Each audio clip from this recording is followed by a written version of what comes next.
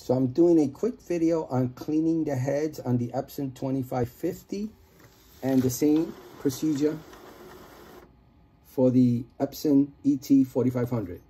You clean them the same way. So let me just show you what's going on. I just printed out um, the, it prints out a printer head check uh, printout, which looks like this. Let me just show you. On the 2550, I got the printout on the printer head check like this. This is what you want. This represents all the colors within the printer. As you can see, let me just show you. I'm going to call them what how I see them. Black, yellow, maroon, and blue. These are all the colors within the printer. Okay, if you're getting streaks on your printouts, whether it be text documents, photos, uh, say blurriness, something's wrong with your printout. If your printout looks like this, you need to run a maintenance check and a nozzle or a head cleaning. Uh, you have to do a head cleaning on these printers. So I spoke to an Epson uh, customer service many years ago when I knew nothing about doing the maintenance check and the cleaning of the nozzles. And they explained to me that after every, I think, thousand printouts or at least once a month, you're supposed to run a, a head cleaning on the printer to get it so that um, I guess it aligns and all the print heads don't get clogged. I, I'm not sure what it's doing, but it's going to clean it. And what you're looking for is to, these are like jagged lines from left to right. What you want is a complete line from left to right or from right to left. And you don't want any missing segments, any missing areas within these colors at all. If any colors are missing or any lines are missing, you need to clean the heads. If the printout that you do, this um, this printout here, if it prints out and it looks like that, you need to do a nozzle cleaning, okay, or a head cleaning. Now, on the 4500, this is what I got. On the 2550, it's perfect. I did a, uh, a nozzle cleaning or head cleaning about a week ago, so that's why it looks like this, and this is what you're looking for.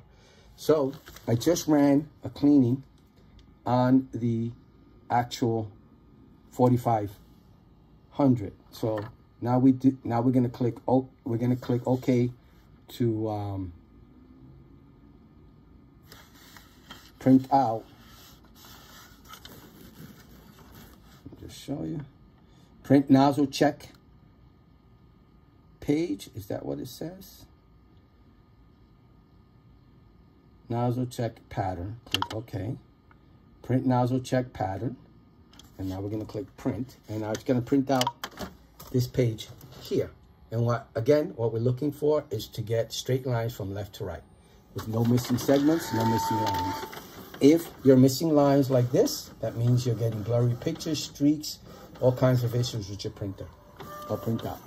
So let's see how it looks now. But I think I'm gonna have to still run it.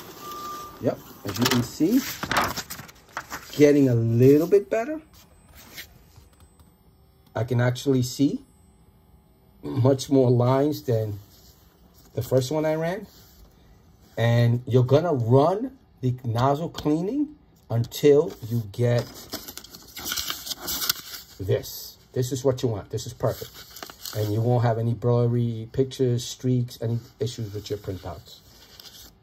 So now I got to run a cleaning. And you run the cleaning as many times as it takes until you get this page here. Uh, this this uh, printout here. This is what you want. If you're getting this, your printouts are going to look awful. So let's hit the menu. Clean the print head. I'm going to click OK. And then to click start, we come all the way to the end here and click on this, start. And now it's doing a cleaning print head, okay? And you're gonna run that print, that maintenance check, that printout, and that cleaning heads until you get this. I know it's a waste of paper, but you gotta get it like this or the printer's, you know, no good. It's gonna, all your printouts are gonna look like this. You don't want that.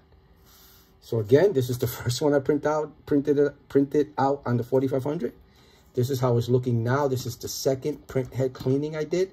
And when I first found out about cleaning uh, or doing a maintenance check or a head cleaning, I think it took me about 25 time 25 cleanings before I ended up with this. I was getting this and I had to run it about 25 times the cleaning until I got this. So if it takes you that long, there's nothing wrong with the printer. Just keep running it. Eventually, it will look like this. All right, so I hope you liked the video. I hope it helps. Thank you for watching. Bye.